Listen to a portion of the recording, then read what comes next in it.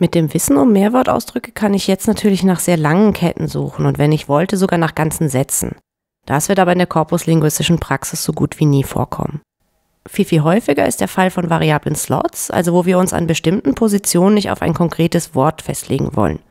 Das heißt, das folgende Beispiel ist linguistisch vielleicht nicht so wahnsinnig spannend und wir wiederholen und üben damit auch nur ein paar Strategien, die wir über die letzten Folgen schon kennengelernt haben. Suchen wir also spaßeshalber nach der Kette The House, und zwar so. Dann sehen wir beim Durchblättern, dass nach House sehr häufig off folgt, gefolgt von Strings, die dann als Ganzes eine politische Institution bezeichnen, also House of Representatives, House of Commons und House of Lords. Also angenommen, ich möchte nur nach diesen Mehrwortausdrücken äh, spezifischer eingrenzen, dann kann ich diese Alternativen natürlich mit den runden Klammern gruppieren und mit der Pipe als Oder-Bedingung formulieren.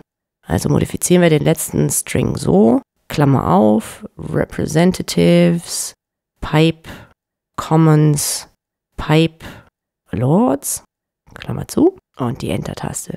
Wichtig ist natürlich, dass hinter jedem Token der %C-Operator steht, um Groß- und Kleinschreibung zu ignorieren. Man könnte natürlich argumentieren, dass House of Commons und House of Lords jeweils Eigennamen sind und immer groß geschrieben werden und könnte dementsprechend nur nach Großschreibung suchen. Aber das setzt natürlich voraus, dass diese Konvention auch immer von den Autoren und Autorinnen befolgt wurde, deren Texte in einem Korpus vorhanden sind. Man sollte sich aber grundsätzlich nicht darauf verlassen, dass alle Korpustexte immer den orthografischen Konventionen entsprechen. Außerdem sollten Sie sich an die Prozent-C-Notation gewöhnen. In diesem Beispiel ist es vielleicht offensichtlich, dass man die Großschreibung braucht, aber leider vergessen viele gerade am Anfang, dass der umgekehrte Fall viel gravierender sein kann, also wenn Sie den Operator nicht gesetzt haben und Ihnen ein großer Teil von Belegen in Großschreibung entgeht. Als Übung können Sie ja mal ausprobieren, ob und wie viele Belege Ihnen entgehen, wenn Sie den Operator hier nicht setzen oder alles mit Großbuchstaben schreiben.